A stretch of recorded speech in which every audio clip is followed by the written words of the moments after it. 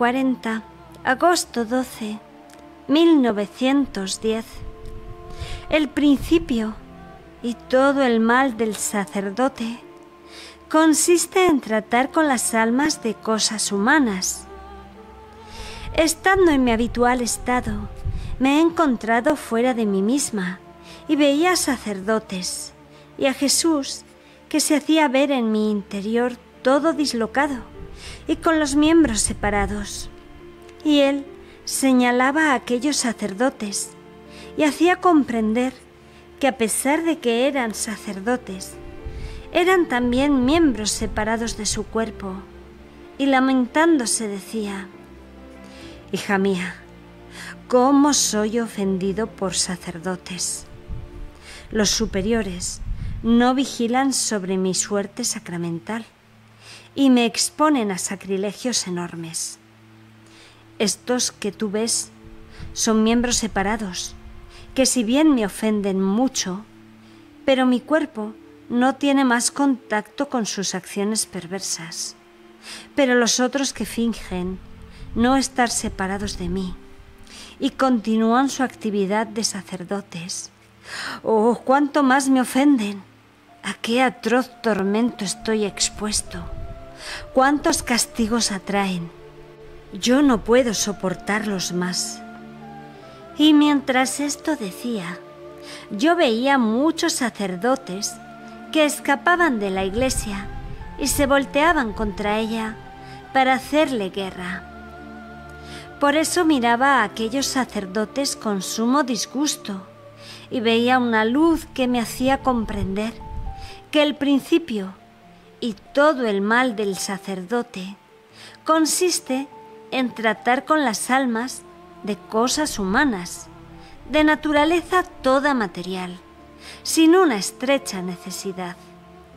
Estas cosas humanas forman una red para los sacerdotes que les ciega la mente, les endurece el corazón para las cosas divinas y les impide el paso en el camino que conviene hacer en el ejercicio de su ministerio.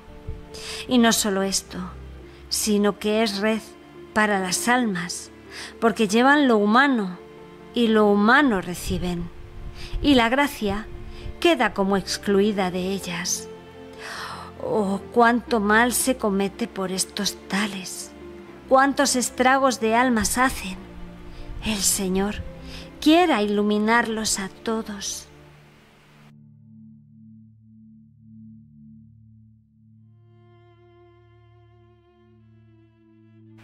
...941...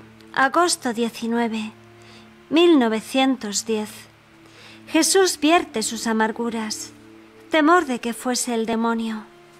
Continuando en mi habitual estado, me he encontrado fuera de mí misma, dentro de una iglesia, y sobre el altar estaba la Reina Celestial y el niño Jesús que lloraba. La celestial mamá, haciéndome señas con los ojos, me hacía comprender que tomara al niño en brazos e hiciera cuanto más pudiera por calmarlo.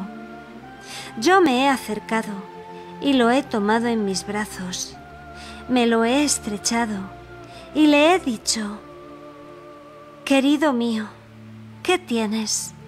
Desahógate conmigo. ¿No es el amor el paliativo, el adormecimiento a todos los pesares? ¿No es el amor lo que hace olvidar todo, lo que endulza todo, que pone paz en cualquier controversia.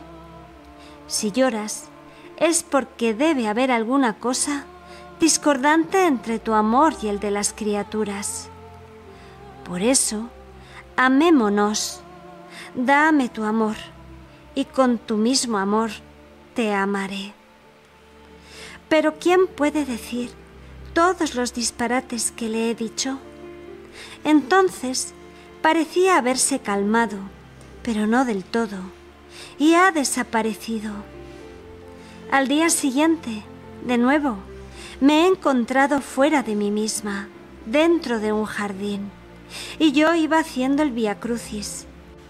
Y mientras esto hacía, me encontré con Jesús en brazos. Habiendo llegado a la undécima estación, no pudiendo soportar más, el bendito Jesús me ha detenido y acercando su boca a la mía, ha derramado una cosa espesa y una líquida. La líquida podía pasármela, pero la espesa no me bajaba. Tanto que en cuanto Jesús alejó su boca de la mía, la he arrojado por tierra, y después he mirado a Jesús, y he visto que de su boca le escurría un líquido espeso y negro, negro. Yo me he asustado tanto que le dije, me parece que no eres Jesús, Hijo de Dios y de María, Madre de Dios, sino el demonio. Es verdad que te quiero, que te amo, pero es siempre a Jesús a quien quiero, jamás al demonio. Con él no quiero tener nada que hacer. Me contento con estar sin Jesús antes que tener algo que ver con el demonio. Y para estar más segura, he signado a Jesús con la señal de la cruz, y a mí también. Entonces Jesús, para quitarme el espanto, ha retirado dentro de sí aquel líquido negro que yo no quería ver, y me ha dicho, Hija mía, no soy demonio. Esto que tú ves no es otra cosa que las grandes iniquidades que me hacen las criaturas, que no pudiéndolas más contener, las derramaré sobre de ellas mismas. He vertido en ti, y tú no has podido contener todo, y lo has derramado por tierra. Yo continuaré derramándolo sobre ellas. Y mientras esto decía, me hacía comprender qué castigos hará llover del cielo. Envolverá a los pueblos en luto, en lágrimas amarguísimas y desgarradoras, y lo poco que derramó en mí evitará, si no del todo, sí en parte, los castigos a mi ciudad. Después hacía ver gran mortalidad de gentes por epidemias, por terremotos y otros infortunios. Cuánta desolación, cuánta miseria.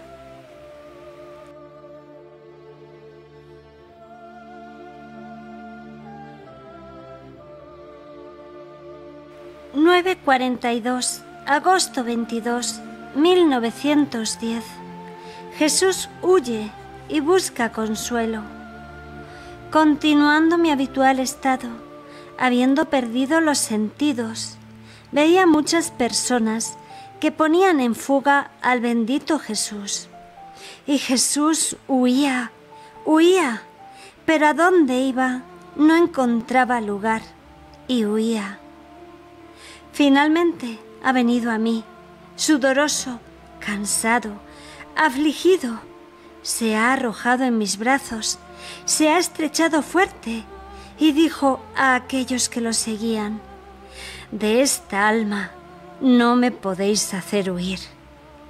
Y aquellos avergonzados se han retirado, y a mí me ha dicho, Hija, no puedo más, dame algún alivio. Y se ha puesto a chupar mi seno.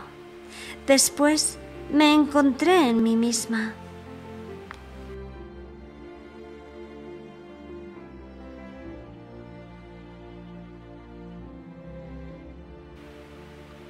943, septiembre 2, 1910. Se debe poner atención a lo que se debe hacer y no a las habladurías. Estaba pensando en Jesús cuando llevaba la cruz al Calvario, especialmente cuando encontró a las mujeres, que olvidó sus dolores y se ocupó en consolar, oír, instruir a aquellas pobres mujeres como todo era amor en Jesús. Él tenía necesidad de ser consolado. En cambio, consuela. ¿Y en qué estado consuela? Estaba todo cubierto de llagas, traspasada la cabeza por punzantes espinas, jadeante y casi muriendo bajo la cruz. Y consuela a los demás. ¡Qué ejemplo! ¡Qué vergüenza para nosotros! Que basta una pequeña cruz para hacernos olvidar el deber de consolar a los demás. Entonces recordaba cuántas veces, encontrándome yo oprimida por los sufrimientos o por las privaciones de Jesús que me traspasaban, me laceraban de lado a lado mi interior, y encontrándome rodeada de personas, Jesús me incitaba a imitarlo en este paso de su pasión.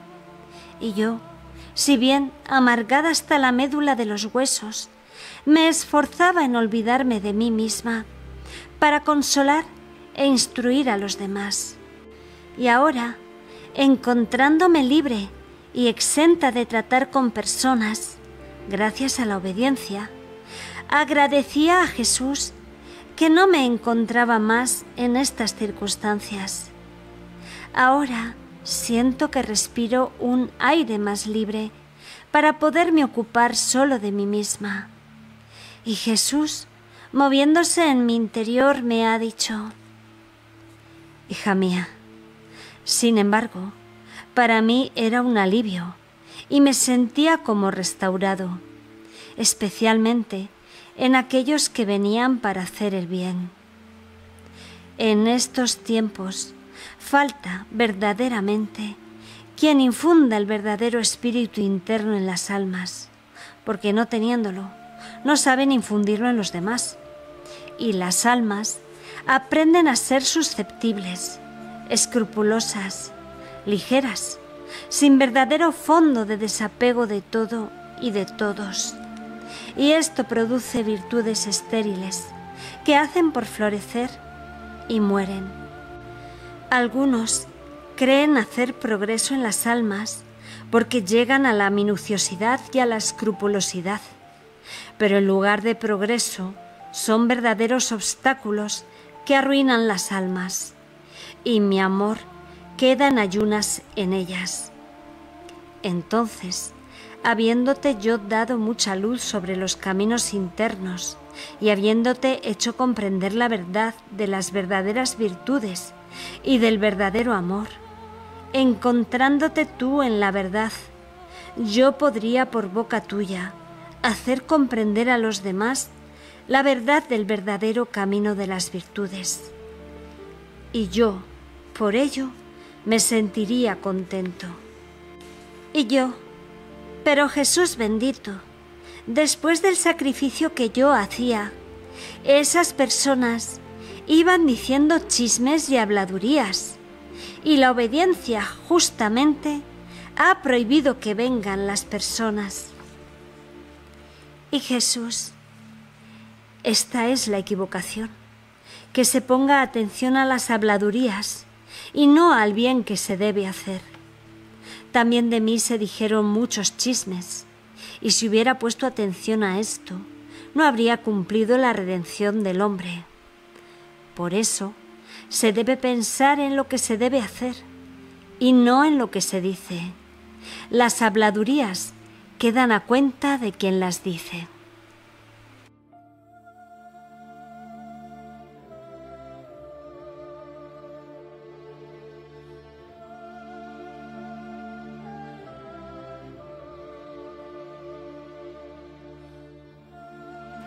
944, septiembre 3, 1910.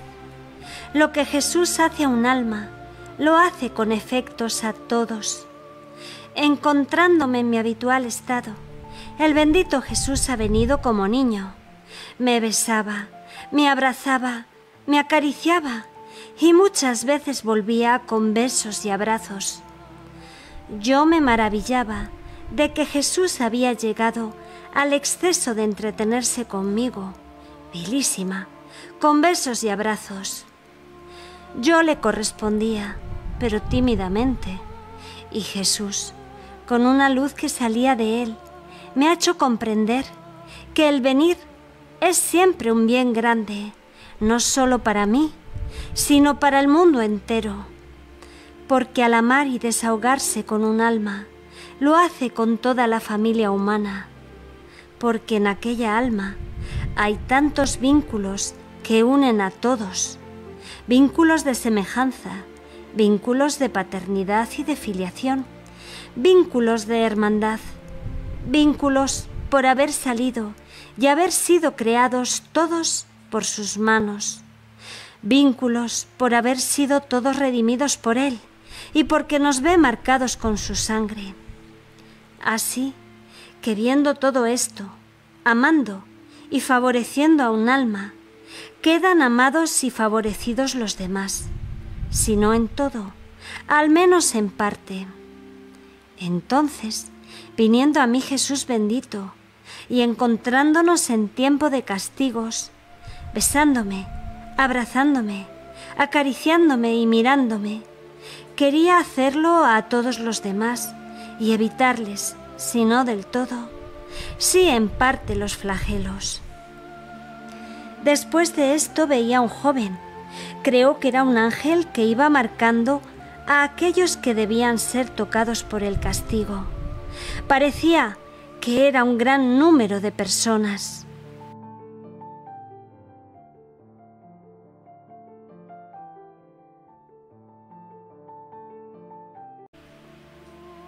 ...9.45... ...septiembre 9... ...1910... ...lamentos del alma... ...por no poder evitar los castigos... ...continuando mi habitual estado... ...el bendito Jesús no venía... ...y yo estaba diciendo entre mí, ¿cómo ha cambiado Jesús conmigo? No me quiere ya como antes.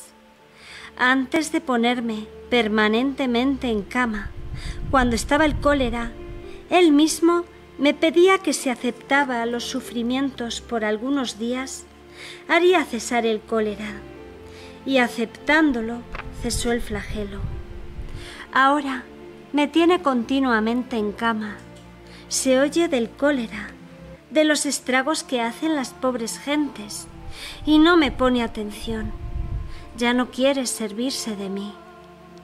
Mientras esto decía, hago por mirar en mí, y veo que Jesús estaba con la cabeza levantada, que me miraba, y todo enternecido, me estaba escuchando. Y cuando vio que yo advertí que me estaba mirando, me ha dicho, Hija mía buena, cómo eres fastidiosa. Quieres vencer por la fuerza, ¿no es verdad? Está bien, está bien. No me molestes más. Y ha desaparecido